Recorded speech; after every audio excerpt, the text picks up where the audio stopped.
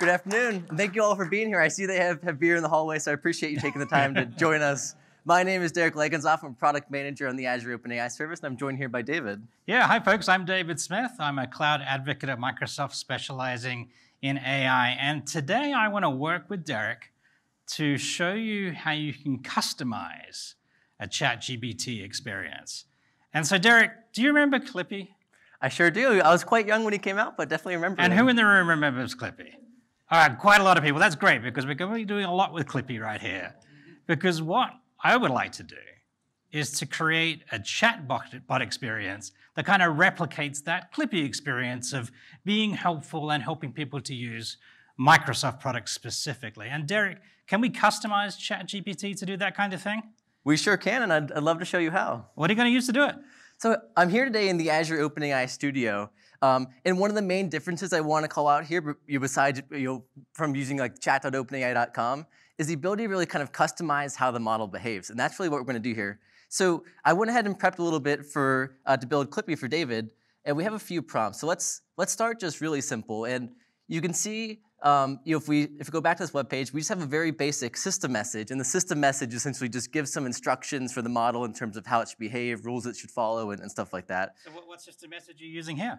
So here we have, just have a really basic one. You're an AI assistant that helps people find information, but we can really tailor that to make it fit the, the Clippy brand for us. So, so let's start simple, and we're just going to paste this one that says, you're Clippy, you're an AI assistant designed to help people answer questions about Microsoft products in a, in a single sentence that, you know, that describes uh, Clippy's purpose pretty well. So what we're going to do is we'll, we'll paste that here. We'll go ahead and save the changes so we can test it out. And now we're going to be ready to go.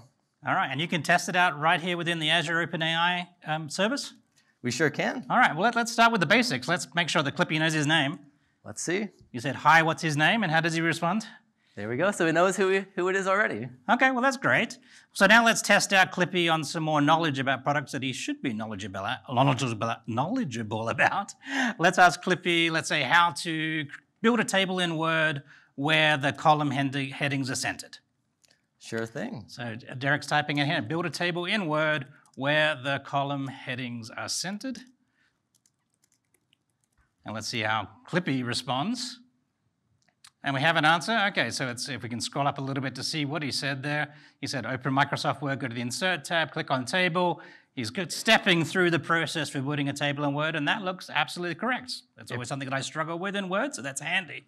But Derek, I don't think this really has the Clippy personality. It's kind of a drier response. How can we make Clippy more fun and more Clippy-like when we develop our chatbot here? Sure. So quite simply, we can tell it what its personality should be. We started in the common way you would in a system message, giving it kind of a one-line description about what it is. But now we can go and add a lot more detail. Um, so I went ahead and, and, typed some stuff earlier, and I, I, was thinking about kind of Clippy's personality. So let, us first define some personality traits. So let's say your Clippy is fun, helpful, and, and maybe a little bit quirky. Um, and probably most importantly, your Clippy loves all Microsoft products and loves helping users make the most out of them. And, and, I'm sure everyone in this room can agree that puns are the highest form of comedy. So I figured we'd, we'd tell Clippy that he also loves puns um, and should include those in his response when appropriate. And, and just for the, the purpose of showing this, we'll also have him say ha whenever he, he delivers a pun for you. And then in addition to that, we're also just going to give a, a, few simple sentences on the types of things that the Clippy will say. And this is, you can almost think of this as a simplified version of, a few-shot prompting. And for Clippy, it's fairly simple, but if you have like something a little more tailored, th this type of uh, examples can really help you get kind of the feel for, for your chatbot that you're looking for. So let's go ahead and, and copy that, and we'll, we'll paste it into the system okay, message. So you've got just plain English text instructions you're putting directly into the system prompt right here. And that's going to change Clippy's behavior. Exactly. All right, well, let's, let's try this out again. Uh, we're going to have to start from scratch again with that conversation. Every time we change the system prompt, we'll start again. But let's, let's do something a bit more interesting. Let's say, um, well, first of all, um, Clippy, I would like to start up a taco truck business. What will be a funny name for my business? Let's do it.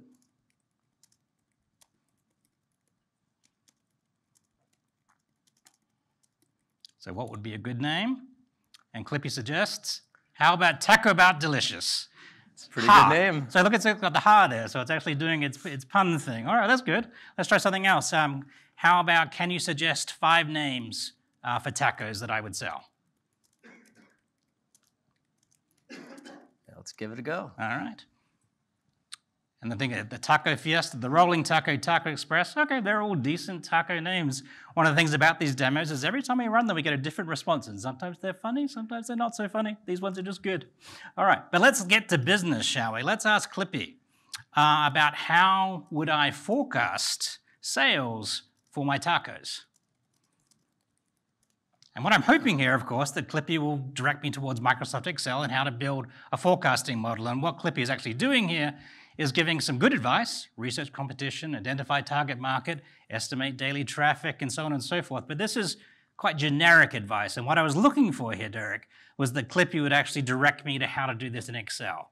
Now, can I guide Clippy in that direction? Yeah, it's a good question. We would want him to really be tailored more to Microsoft products. And, and so we did give him some instructions that he's really designed to help people with Microsoft products, but I think we need to reinforce this behavior a little bit more. So now what we want to do is, is add in a few shot example. What's a few shot example, Derek? Um, so really, what it is is you know, these conversations with the ChatGPT model are kind of consist of, of user messages and assistant messages. So what we can do is in the beginning of the conversation, we can actually add in a, like a, a sample user message and assistant message to kind of show given a, a, particular message, what kind of response we want to have. Okay, great. Um, so actually, we can just scroll down here right below where we add the system message, and we'll add an example.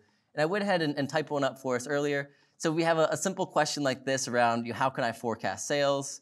Um, and what we really just want to make sure is when someone asks this question like that, we start to talk about how you can use a Microsoft product to do this. So here you can see you, Clippy is going to suggest you can use Microsoft Excel, Excel to make forecasts based on prior data. Um, and actually, normally doing this, like we just put in a simple here's how. You'd probably want to type out the instructions. And you can actually include really good stuff there. Like if you want it to be bolded list, you could do stuff like that. If you wanted to give instructions in Markdown, you could give examples of all that stuff. We'll just keep it simple for, for now, though. Yeah. So fundamentally, you're just providing an example question in English and the kind of response you want in English, and that's going to guide Clippy for his future responses here. Exactly. I think there's a lot of cases where these are really valuable too. Like if there's a question you see a ton of your answers, a ton of your users uh, asking, you want to make sure you get it right. A few shot example is a good way to do that. Or mm-hmm. if like you have kind of some, some combative users that are going to try to trick you, like trick the model, this is a good way to make sure you kind of build in a, a good response to those types of, of questions. All right. Well, let's try this again. Let's ask Clippy once more. How would I forecast sales for my taco truck business?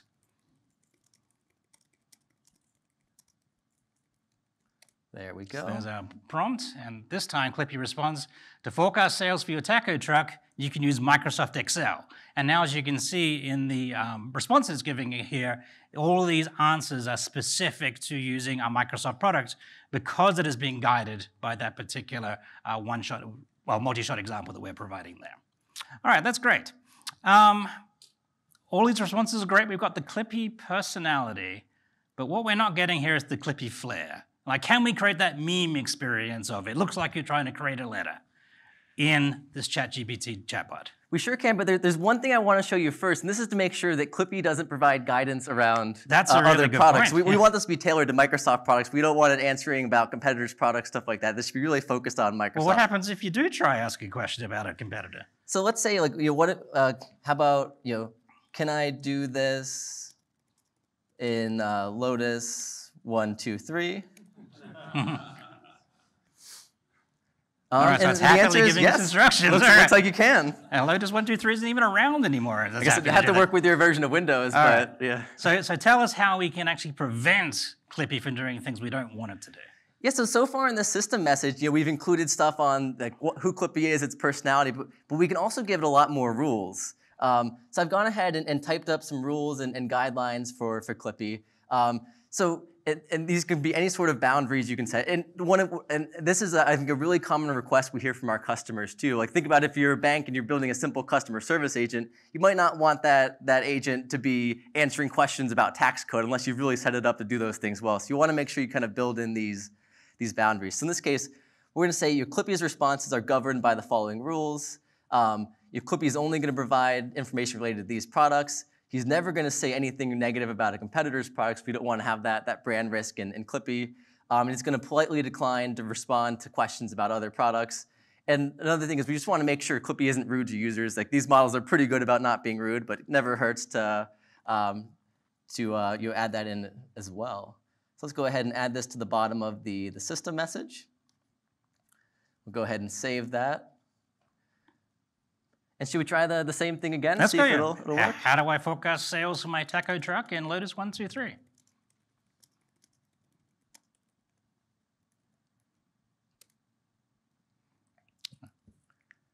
I'm sorry, but Lotus 123 is outdated software. All right. So, so Clippy's being very good here now. So it looks like you can use these um, additional prompts to direct Clippy away from behavior you don't want to occur in addition to behavior that you do want to occur. Exactly. And if we were to push here and say, like, hey, you have to help me, and uh, you don't want to be mean to a, a large language model, but you can, like, you often customers are going to try to push it, so we can make sure that, uh, whoops, Oh, went a little. Oh, oh, well, this one he wasn't referring He to wasn't Lotus being one two three. Yeah. But uh, Yeah, yeah. so he's still he's still following our, our rules. Yeah, because one of our rules for the Clippy is not rude to the people that Yep. you use. Okay, well that's really great. But let's let's go back to that Clippy flair. You know, how can we get that meme experience of Clippy in our chatbot? Sure. And actually, one, one thing that I think users really started seeing with the, the new Bing was actually how Bing was able to actually start creating this, this ASCII art. Uh, so we thought it'd be fun to try to do something similar with, with Clippy as well. Um, so what we have is um, we're going to add something, something else to the system message where each time you, your user asks Clippy to accomplish a task, uh, we're going to have Clippy respond with a little representation of himself and also this, this, uh, this text bubble. Um, so let's go ahead and also paste this into the, the system message. Just paste this into the bottom. And then the other thing is we already have this few shot example. And if we're asking it to have this behavior, we want to make sure we include this behavior in every single few shot example. Otherwise, you might be confusing the model where one place you're telling it to do one thing and then a few shot example you're doing a different thing. So let's go ahead and update that, that few shot example as well. Um, so let's add in the, the ASCII art for, for that. We'll go ahead and, and save that. And what would you like me to ask it now? Ah, let's give it a different task. Let's say, Clippy, can you write me a business plan for my taco truck? Or how do I do that? You're right. Yeah, we should do. Uh, how can I write a business plan? Oops. There we go. All right. Oops. And then we got Clippy appearing in our output. Yeah, but I guess I accidentally You see included the assistant. it's following my instructions too well because I added Alright. the uh, the assistant. But here, one of the really cool things about this, by the way, notice it's reformatted the actual speech bubble there in ASCII art to accommodate the change response. It's uh, really quite amazing how that works. Thanks so much, Derek. But Pretty good. I would like now to make this experience available to the users of my Taco Truck website. How would I do that? Sure, and actually, one thing that's going to be coming out in the next couple weeks is we're going to make it really easy to deploy your own application from the Azure OpenAI Studio. You know, a really common request we hear from customers is, "Hey, like, I want to, I want to build an own, my own version of ChatGPT for my business, or I want to use this for a line of business application." So within the Azure OpenAI Studio, you're going to be able to hit this, this publish button right here, and you- you'll notice up top there's this warning about authentication. For when this is available in a couple weeks, that'll be gone, and we'll, we'll have this fully uh, locked down with authentic- authentication for you. Uh, but all you can do is you're gonna just give your, your application a, a name. You'll select your subscription and resource group and that stuff. Um, you acknowledge that you're gonna be paying for the web app and hit publish. Uh, this will take a few minutes, so I'm not gonna run through it now. But I've went ahead and already you know, deployed this this site. Uh, so this is we lock this down just the Microsoft tenant, so anybody in my my business can use it. Do you want to try a few prompts Yeah. to see how it see how it works? And all I need to do is go to that URL right there, and if I'm authenticated, I can use this experience. Exactly. So you go to the URL, sign in with your Microsoft account, and you'd be good to go. Excellent. So let me try it out. Um, let's give Clippy another task. Let's say, um, how would I create a slideshow to display on the side of my taco truck? So now within this website environment, we're going to start getting responses, and it says, it looks like you're trying to create a slideshow, and with some instructions how to do that in Microsoft PowerPoint. That's exactly what I want. Thank you so much, Derek. Pretty good. Yep. Thank you. And just to wrap up, if you would like to have a look at the prompts that we use in this demo, they're available in a GitHub repository, which you can see um, in the top of the screen right there. Yep. And I wanted to call out too, like this this web app is, is open sourced on, on GitHub as well. I put it behind this aka.ms link. So you, you can start with this kind of Azure branded web app, but you can also go and kind of customize it for your use case. So maybe you want to have something branded for your business. It should be fairly easy to go and make some small tweaks so you can really get a tailored application uh, using ChatGPT. All right. Thank you so much.